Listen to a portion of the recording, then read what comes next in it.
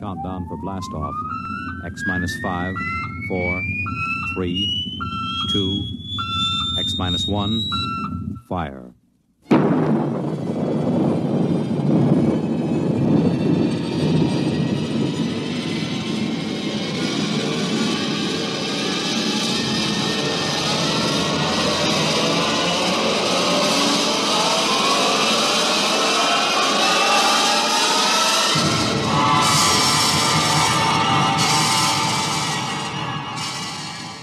From the far horizons of the unknown come transcribed tales of new dimensions in time and space. These are stories of the future, adventures in which you'll live in a million could be years on a thousand maybe worlds. The National Broadcasting Company, in cooperation with Street and Smith, publishers of astounding science fiction, presents X, minus, one.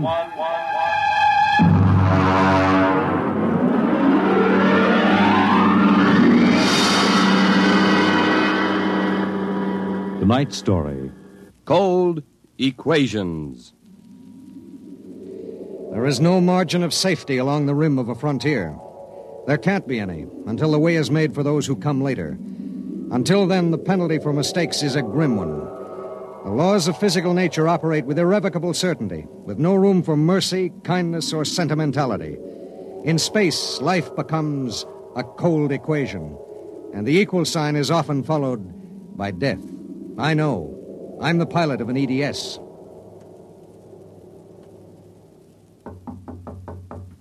Come in. You sent for me, Commander? Yes. Sit down, Barton. we just got an ED from the Territorial Space Station on Woden. Uh, Woden. That's in the Crab Nebula, isn't it? That's right. There are two exploration parties there on Manning's continent, eight men each. Mm-hmm. They've got calla fever in one of them and no serum. Oh, and I thought this was going to be a nice, quiet passenger run. Computers are working out your payload and your course right now. In exactly ten minutes, we'll drop into normal space and launch your ship. I'll get her ready. One thing What's that? Woden is at the maximum pay limit for an EDS. Figuring the weight of the serum, we'll be able to give you just enough fuel to land on Manning's continent if you make it the first pass. Otherwise, you'll burn out in midair. Mm-hmm. Standard procedure. Report to launching control. Right. Good luck, Barton. Thanks. Oh, uh, by the way, Yes? when can I expect to be picked up? We'll make a stop on the run back to Earth sometime next year. You'll be notified by radio. Okay. Sorry, we can't make it sooner. That's what happens when you sign on for EDS work. I'll see you next year, Commander.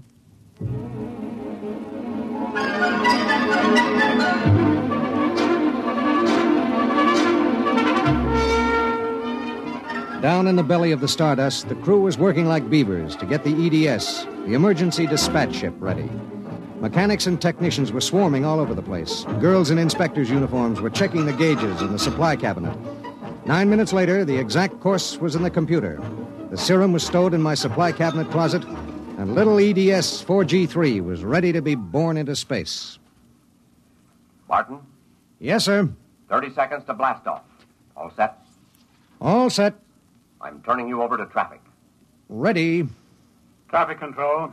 Come in, EDS 4G3. Ready. 20 seconds. Lock open. 15 seconds. Space drive on. Space drive on. 10 seconds. Gravity neutralizer on. Neutralizer on. Five seconds. Four. Three. Two. One. Blast off.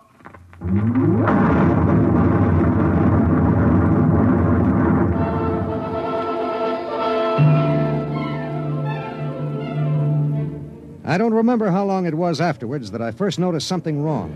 Maybe an hour, maybe two. There was nothing to show it except the needle and the heat gauge. It was on zero when we left the Stardust, and now I noticed that it had crept up toward the 30 mark. That meant something inside the ship was radiating heat. That something was in the supply closet, and it was alive.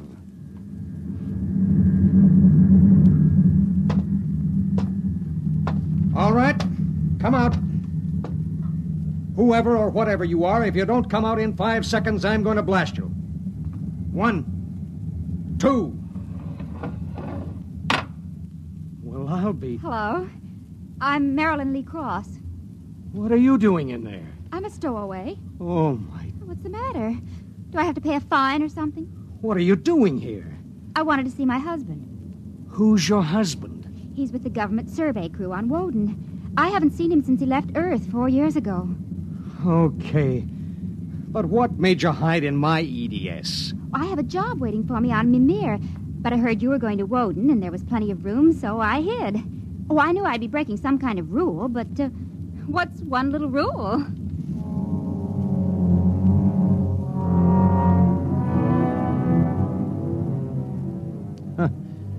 What's one little rule? H amount of fuel will power an EDS with a mass of M safely to its destination. H amount of fuel will not power an EDS with a mass of M plus X safely to its destination. Well, how could she be expected to know? She was 5'2 with brown curly hair and the faint, sweet smell of perfume. She was 5'2 and she smelled like apple blossoms. And her name was X in an equation that would have to be balanced.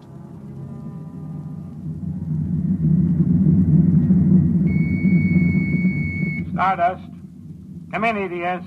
Come in. This is Barton, emergency dispatch pilot 4G3. Go ahead. Give me Commander Delhart. What's the message, EDS? I have to consult Commander Delhart. The commander is busy. Listen, you squirt. Give me Commander Delhart.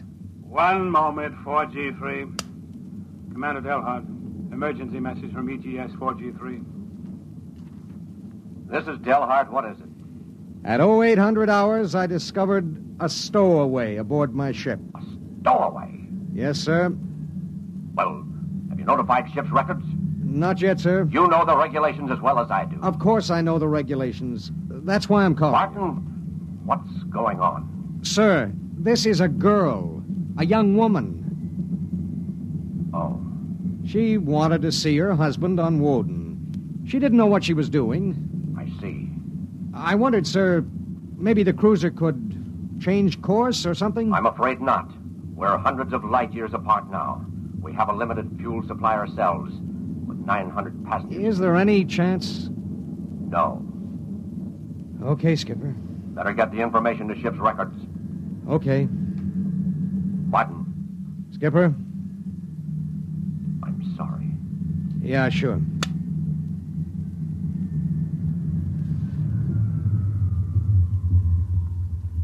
Acceleration, didn't you? Yes. Why? Well, save fuel. For a while. How did you manage to stow away? Well, I was taking a language lesson in Mimirese from a girl in the inspection corps. The order came in for your trip, and I just went along on an impulse. Oh, it was easy. I'll be a model prisoner, I promise. Oh, if you were only a thief or a spy, it would make it easier.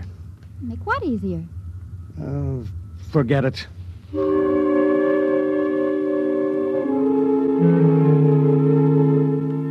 Why couldn't she have been somebody with some ulterior motive, a fugitive, hoping to lose himself in a raw new world, a, a crackpot with a mission? Why did she have to be a woman? A beautiful, kind, trusting woman?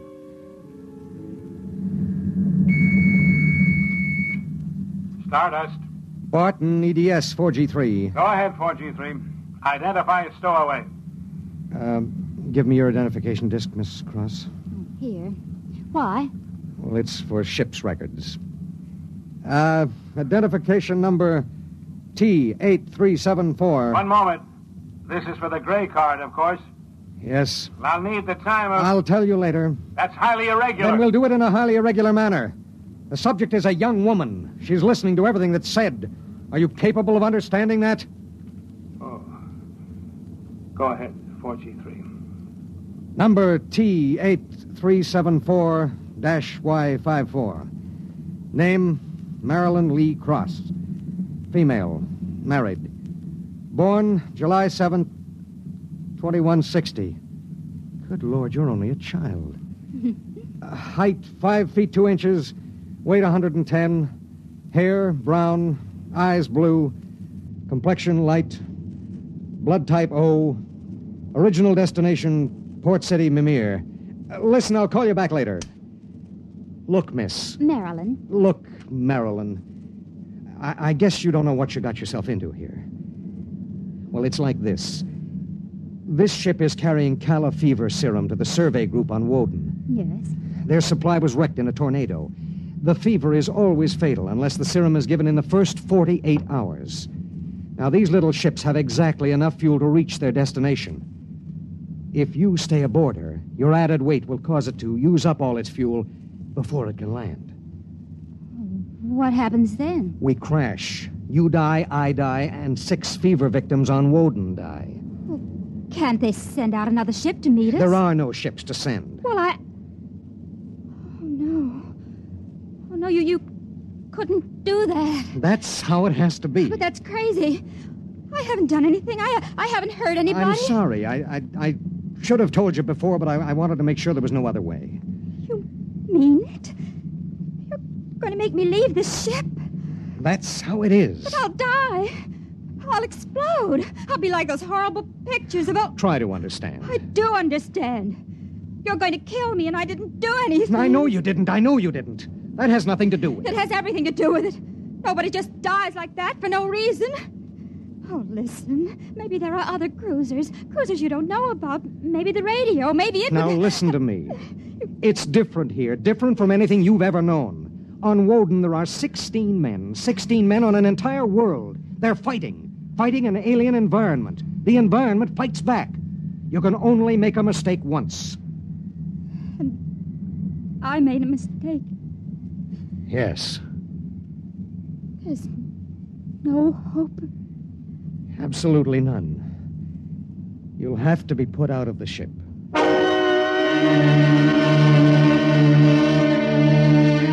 It was better so. With the going of all hope would go the fear. Then would come the resignation. She needed time, and there was so little. EDS. Starship to EDS. Need pertinent data. All right, Starship. When do you expect to complete your report? I. I need a computer check. I'll give you statistics. Statistics.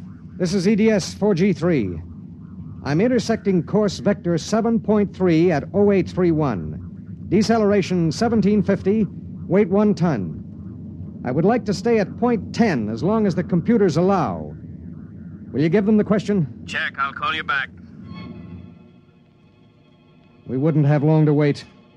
The new factors would be fed into the steel maw of the computer bank, and the electrical impulses would go through the complex circuits. Here and there, a relay would click, a tiny cog turn over. But it would be the current, formless, mindless, invisible, which would determine with utter precision how long the pale young girl beside me would live. Five little segments of metal in the second bank would trip against an inked ribbon, and the machine would spit out the answer. You will resume deceleration at 1910. It was 1810 when he spoke. One hour. She has one hour to live.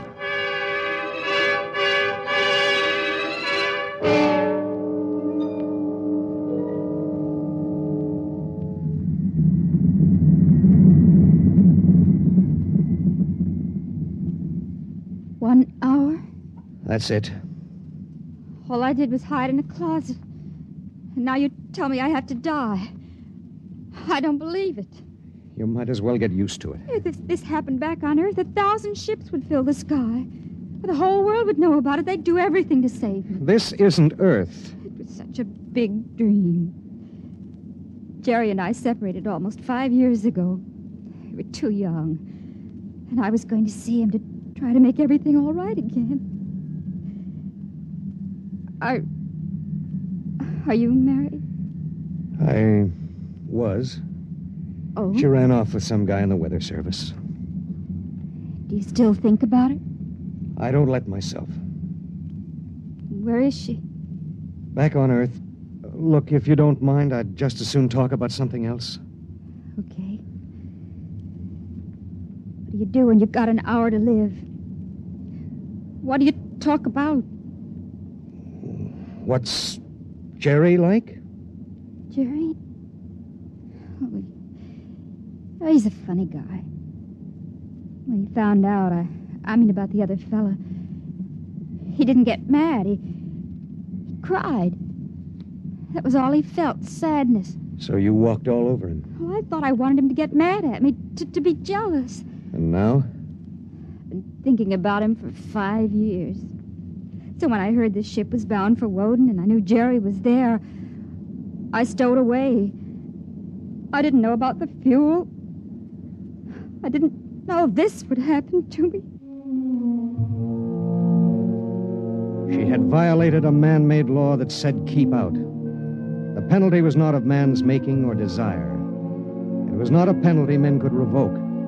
H amount of fuel will power an EDS with a mass of M safely to its destination. The time was 1830. 40 minutes. It was beginning to get me. A space frontier is a rough place, and I'd seen a hundred men die since I left Earth. But this was different. I watched her as she wrote a message to her folks. I watched her as she fought her way through the black horror of fear toward the calm gray of acceptance. And then there it was on the view screen the planet Woden, a red ball enshrouded in the blue haze of its atmosphere, swimming in space against the background of star sprinkled blackness. The chronometer on the instrument panel said 1845.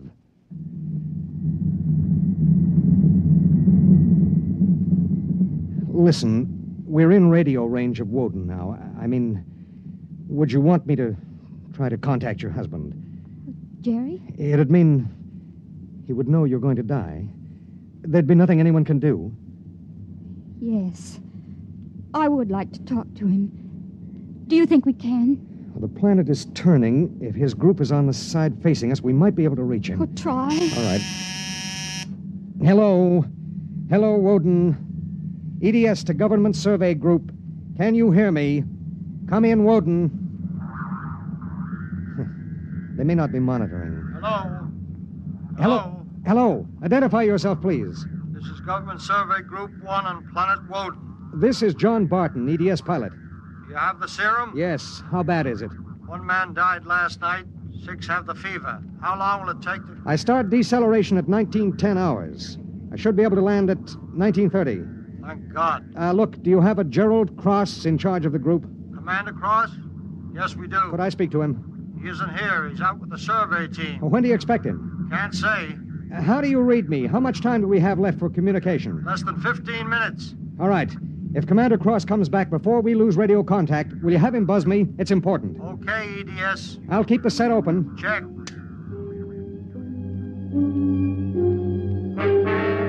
The minutes passed like small bits of eternity.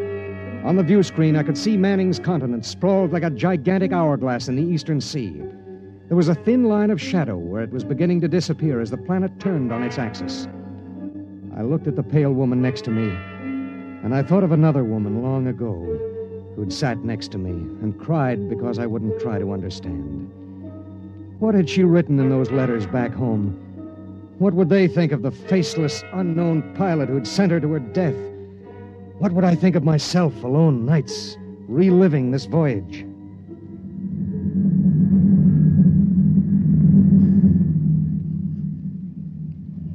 Cold, isn't it? I'll turn up the thermostat. Nothing from Jerry? We have about two minutes of radio contact left. Maybe it's better. I mean, suppose it were you and your wife tried to call you. How would you feel? I don't know. Do you ever hear from her? I got a letter about a year ago. I tore it up.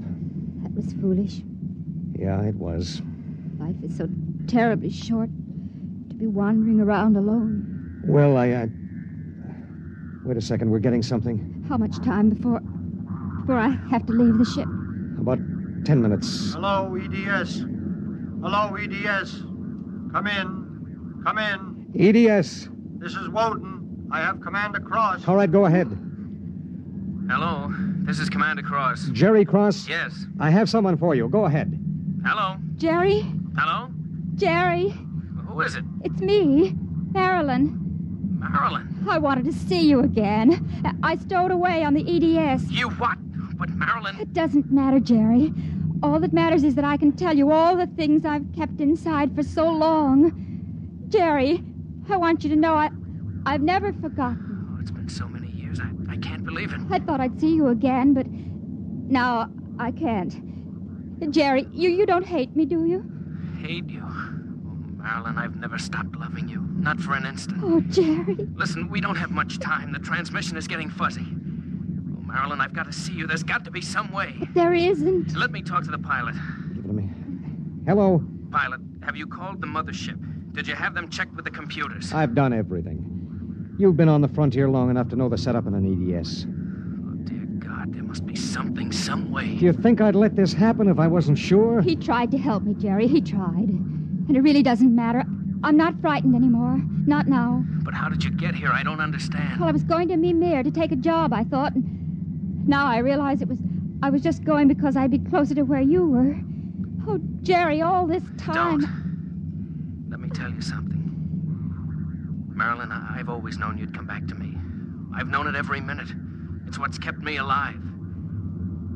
I want you to hold that in your mind. Jerry, I, I can't hear you. We haven't much time. We're losing radio contact. Jerry! Oh, don't cry, darling. Just know how I feel. I do. It's fading. There are so many things to say. Jerry, if you can still hear me, maybe I'll come to see you again.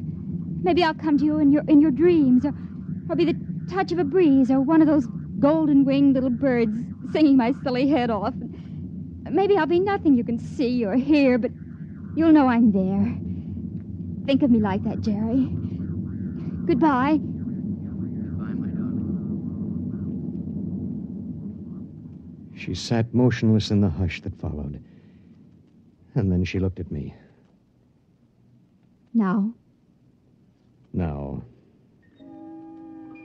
I pulled down the black lever, and the inner door of the lock slid open.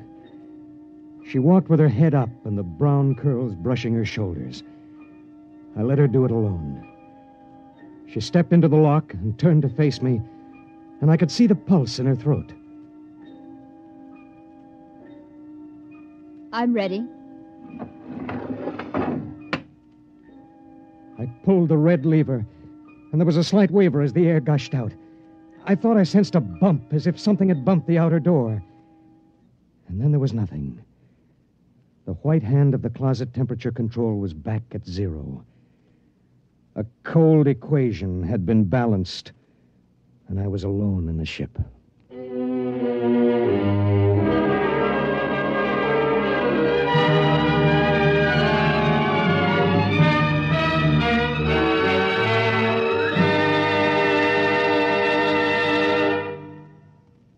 You have just heard X Minus One, presented by the National Broadcasting Company in cooperation with Street and Smith, publishers of astounding science fiction. Tonight, by transcription, X Minus One has brought you Cold Equations, written by Tom Godwin and adapted for radio by George Lefferts. Featured in the cast were Court Benson as Barton, Jay Meredith as Marilyn, Milo Boulton as Commander Delhart, Bob Hastings as Jerry Cross, Jack Arthur as Traffic Control Officer, and Walter Kinsella as the Woden Monitor. Your announcer, Bill Rippey. X Minus One was directed by Ken McGregor and is an NBC Radio Network production.